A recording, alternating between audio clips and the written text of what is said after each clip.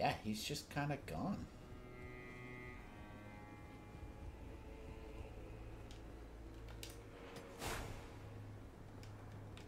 What have you done?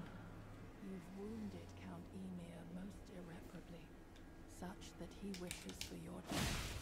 I thought maybe we had to go back down because maybe he'd be down there, but now.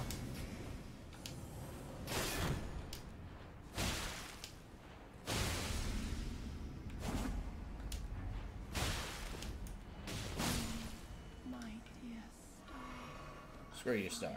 mother, you will be. My shining star, grant me a mother's strength. Look at my fingers. I will be the true mother, and I will be the only mother. He's a boss? Oh shit.